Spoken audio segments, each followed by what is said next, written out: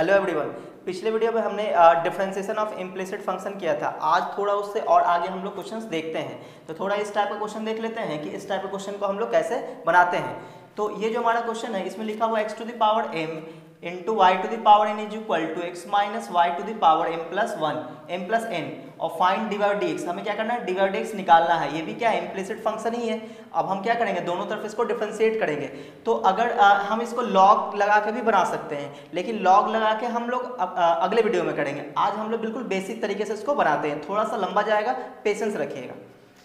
तो यहाँ पे हम लोग क्या करते हैं? डिफ्रेंसिएशन करना इसको स्टार्ट करते हैं कि differentiation with respect to x तो ये u इंटू वी के फॉर्म में है। तो क्या करेंगे? पहले वाले को छोड़ेंगे, दूसरे वाले को डिफ्रेंशिएट करेंगे। तो पहला वाला कौन है? x to the power m तो x to the power m को हम छोड़ दिए। और y to the power n को डिफ्रेंशिएट करेंगे। तो कितना आ जाएगा? n into y to the power n minus one तो ये तो भी पावर का किए। तो y का क्या होगा? y का होगा d y by d x फिर प्लस फिर दूसरे वाले को छोड़ देंगे। y to the power n को छोड़ देंगे। और x to the power n का डिफ्रेंसिएशन क्या होगा?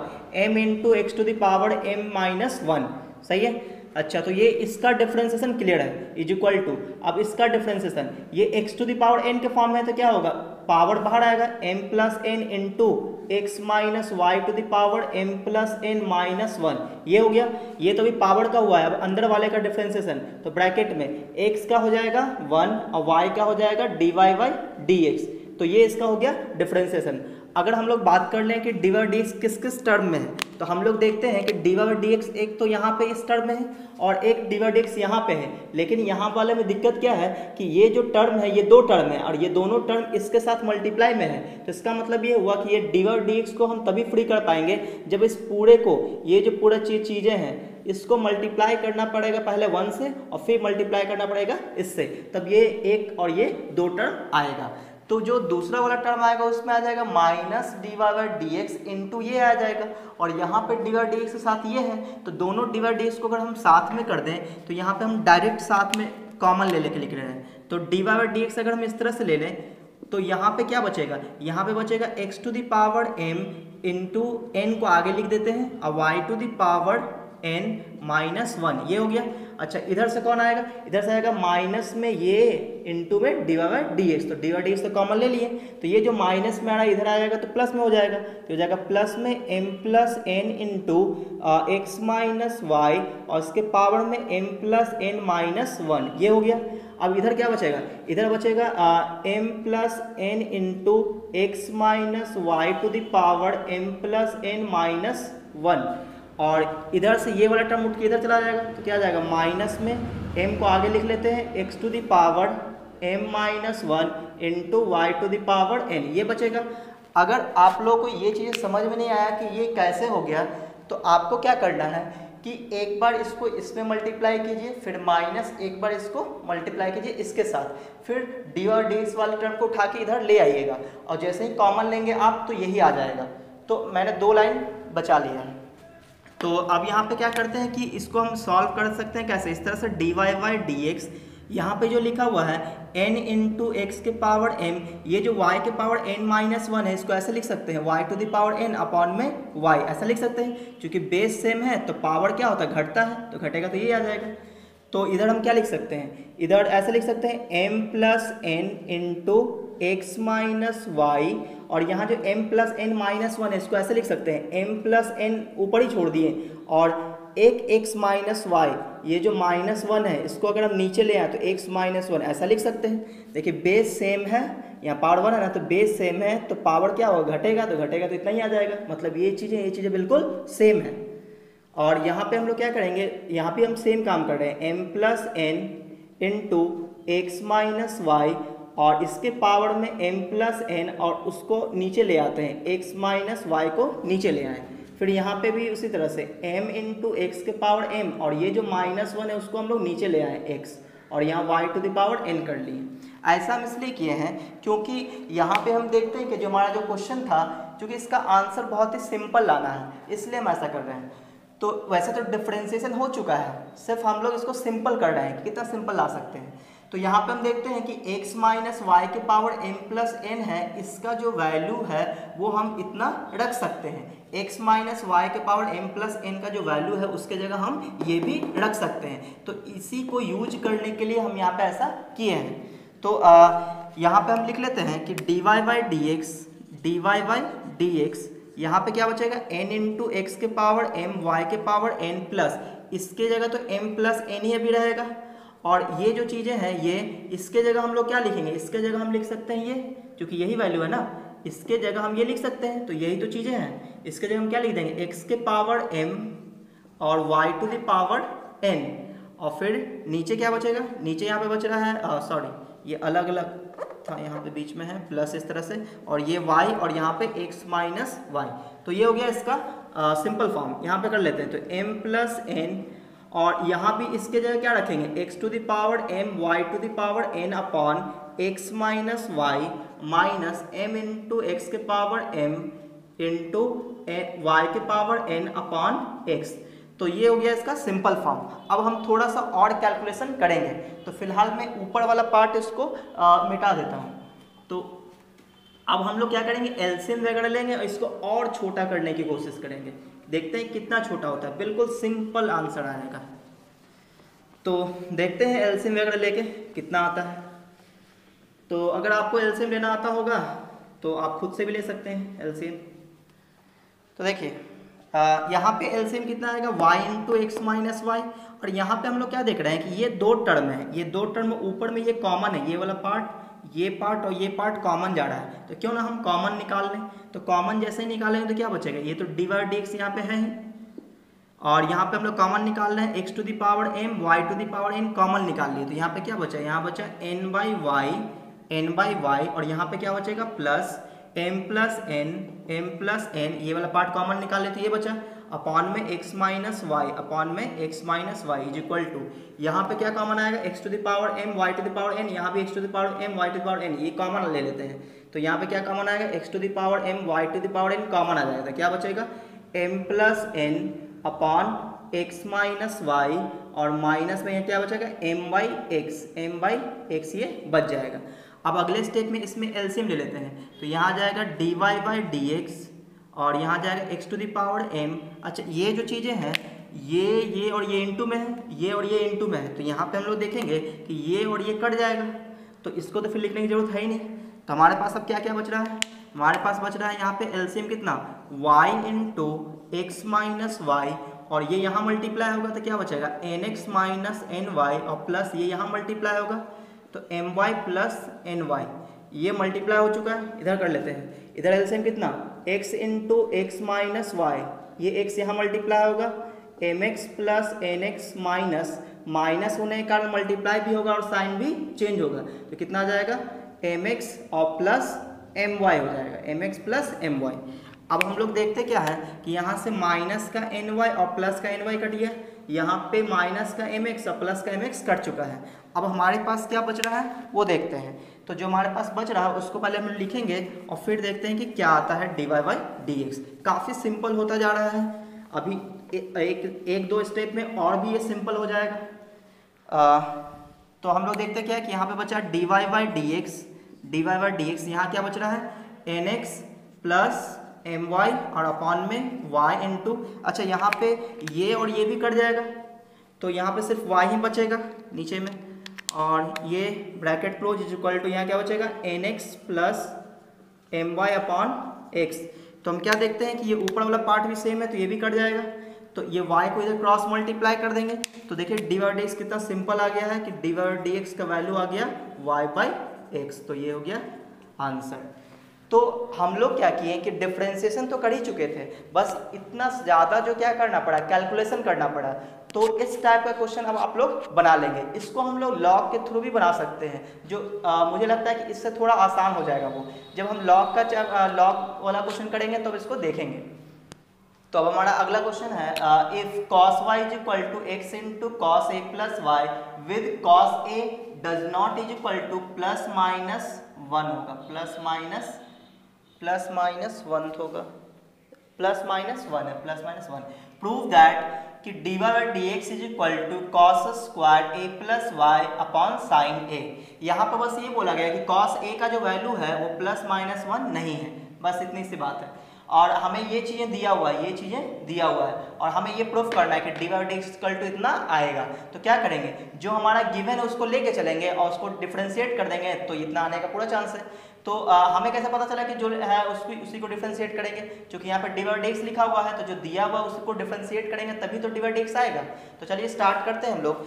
इसको डिफ्रेंशिएट करना स्टार्ट करते हैं। जैसे मान लो हमारे पास गिवन क्या है? आ, हमारे पास गिवन है cos y is equal to x into cos a plus y तो डिफ्रेंशिएट करने से पहले थोड़ा सा और हम लोग सोच लेते हैं कि आ, कुछ चेंज करके डिफ्रेंशिएट करें या डायरेक्ट कर दें। तो प्रूफ को देखते हुए ये काम करना होता है, ये अपना दिमाग लगाना होता है। तो हमको क्या दिख गया कि cos squared a plus y दिख गया।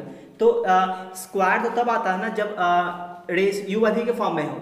तो नीचे वाले का स्क्वायर करते हैं? तो इसका मतलब ये हुआ कि कॉस पे स्क्वायर है तो ज़रूर इसको उठा के इसके नीचे डाल देते हैं। उसके बाद डिफ्रेंशिएट करेंगे।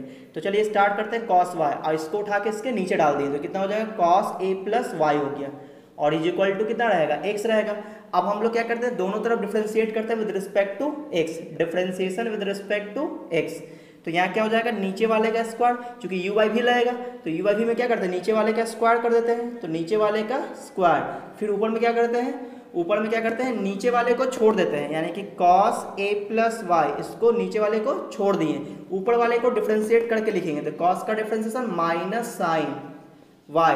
ये तो cos का किए थे y का y का dy बाई डी एक्स फिर माइनस फिर ऊपर वाले को छोड़ देंगे। ऊपर वाला कौन है? cos y.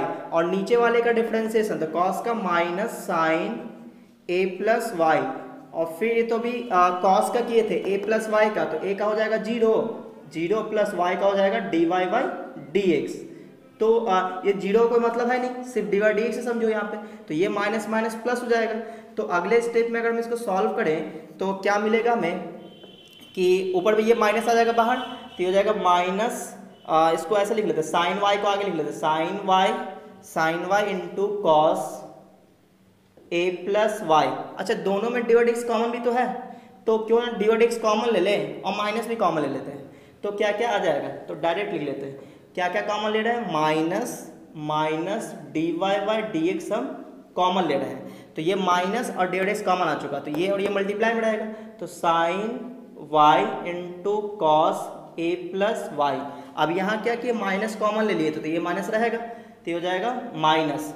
फिर हो जाएगा कितना? Cos y cos y into sine a plus y. और नीचे इसके क्या रहेगा? इसके नीचे क्या था? Cos square cos square cos square कितना था? A plus y a plus y हम लोग एक तरफ़ वाला पार्ट छोड़ दिए हैं कि आ, ये इसको तो डिफ्रेंशिएट कर दिए और ये इस एक्स का डिफ्रेंसिएशन वन होएगा ना? तो यहाँ पे हम लोग छोड़ दिए थे इसको हम कर लेते हैं। दोनों तरफ़ डिफ्रेंशिएट करते हैं ना? आ, ये यू वाई भी का डिफ्रेंसिएशन ये हो गया और फिर इधर एक्स का डिफ्रेंसिएशन वन तो यहाँ पे जो क्या था? यहाँ पे इक्वल टू में क्या चल रहा है यहाँ पे? ये वन चल रहा है। इक्वल टू पे क्या है यहाँ पे? वन यहाँ पे लिख लेते हैं। इज़ इक्वल टू में क्या है? वन। इज़ इक्वल टू में यहाँ वन है। तो अब हम लोग क्या करते हैं? इसको क्रॉस मल्टीप्लाई कर देते हैं। तो क्रॉस मल्टीप्लाई कर देंगे तो क्या हो जाएगा? यहाँ पे माइनस में d y by d x आएगा। और ये साइन ए इंटू कॉस भी है, ये कॉस ए इंटू साइन भी है ये। ध्यान से आप देखें कि sine a into cos b minus cos a into sine b ये हो गया ए ये हो गया बी तो किसका फॉर्मूला है? साइन ए माइनस बी का। तो हो जाएगा sine a minus b a का मतलब वाई माइनस बी बी का मतलब ए प्लस वाई तो आगे माइनस होने के कारण साइन चेंज करके लिखेंगे। और नीचे क्या था? नीचे था cos squared a plus y चलिए अगले स्टेप में हम लोग क्रॉस मल्टीप्लाई करते हैं। तो इसको हम क्रॉस मल्टीप्लाई करेंगे तो कितना आ जाएगा? ये वाई वाई कट जाएगा। और ये जो साइन ऑफ़ माइनस ए आ रहा है तो यहाँ पे क्या लिखेंगे? तो वो माइनस बाहर दे देगा तो ये क्या हो जाएगा? D y by d x और यहाँ बच जाएगा sine a is equal to a cross multiply हो जाएगा cos square a plus y इसको उठा के डिवाइड कर देंगे तो ये बात हो जाएगा प्रूव कि cos square a plus y upon रहेगा साइन ए ये हो गया प्रूव्ड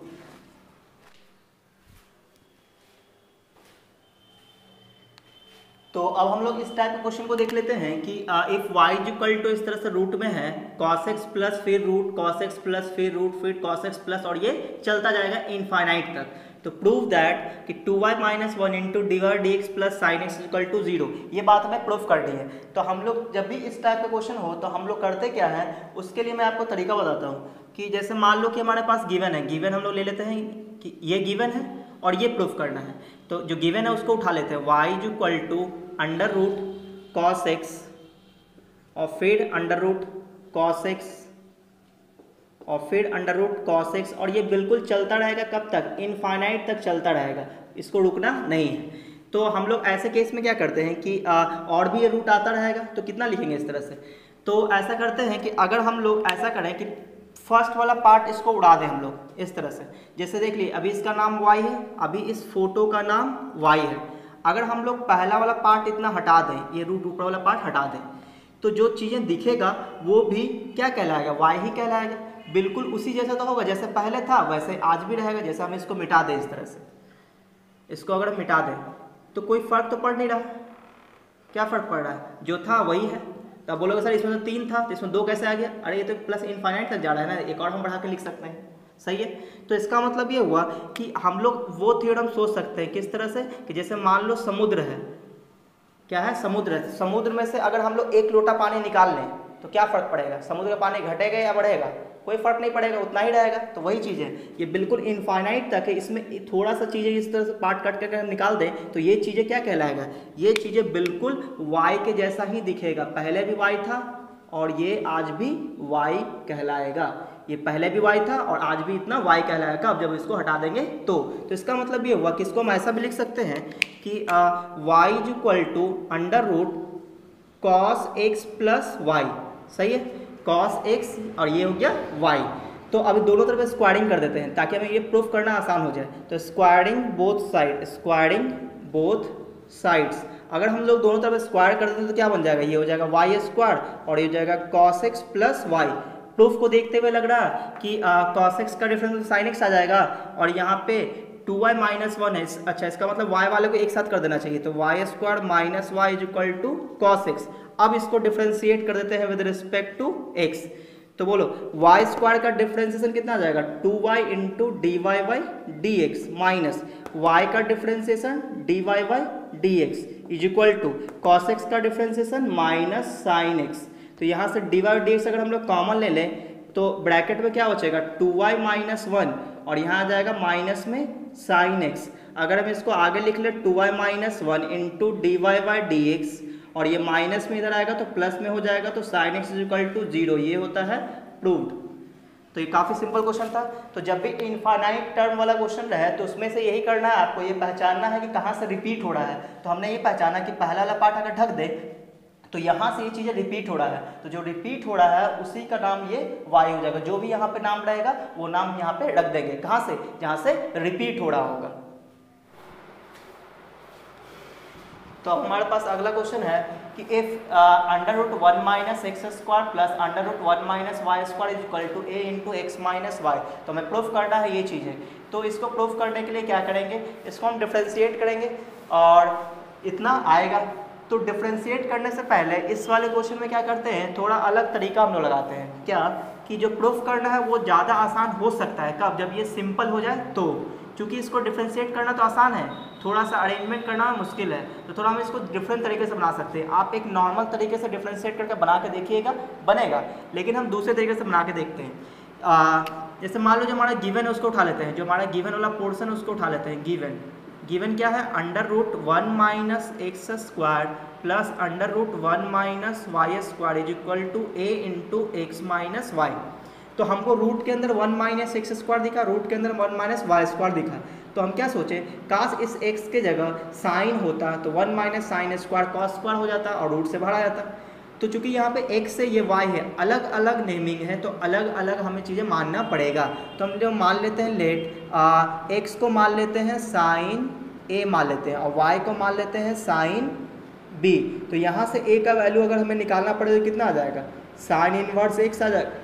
और यहाँ से बी निकालना पड़े तो साइन इनवर्स वाई आ जाएगा। तो जब हम इसको यहाँ पर रख देते हैं तो रखते हैं साथ क्या बन जाएगा? Under root one minus sine square a sine square a now और plus under root one minus sine square b is equal to a into x की जगह क्या रखे थे? Sine a minus sine b तो ये क्या बन गया? ये बन गया कॉस ए और ये बन गया cos b is equal to a into sine a minus sine b तो अब हम यहाँ पे फॉर्मूला लगाते हैं cos c plus cos d का। तो cos c plus cos d का फॉर्मूला क्या होता है?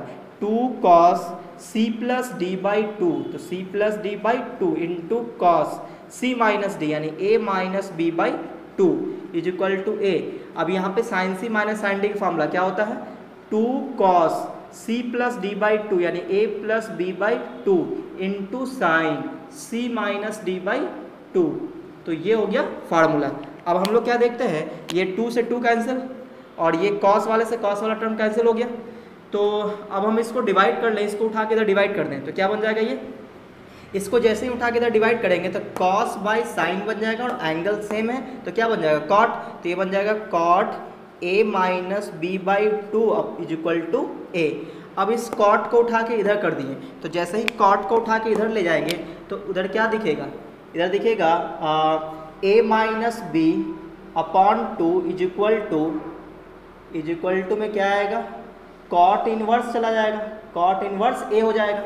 अब इस टू को भी इधर डिवाइड कर लेते मल्टीप्लाई कर देते तो a minus b is equal to हो जाएगा कॉट इनवर्स ए अब इस ए का वैल्यू क्या था? ए का वैल्यू क्या था? ए का साइन इनवर्स एक्स तो यहाँ रख देंगे sine inverse x minus b का sine inverse y is equal to cot inverse a अब इसको हम डिफ्रेंशिएट कर देते हैं विद रिस्पेक्ट टू एक्स तो ये हो जाएगा साइन इनवर्स एक्स का under root one minus x square sine inverse y का वन अपॉन ये वन अपॉन है. One upon under root one minus y square और फिर वाई का हो जाएगा d y by d x is equal to cot inverse ये hundred percent constant इसका डिफ्रेंसिएशन ज़ीरो तो यहाँ से जब हम लोग d y by d x निकालेंगे तो क्या आ जाएगा? Under root one minus y square upon under root one minus x square. और ये होता है रूट। यही हमें प्रूफ करना था।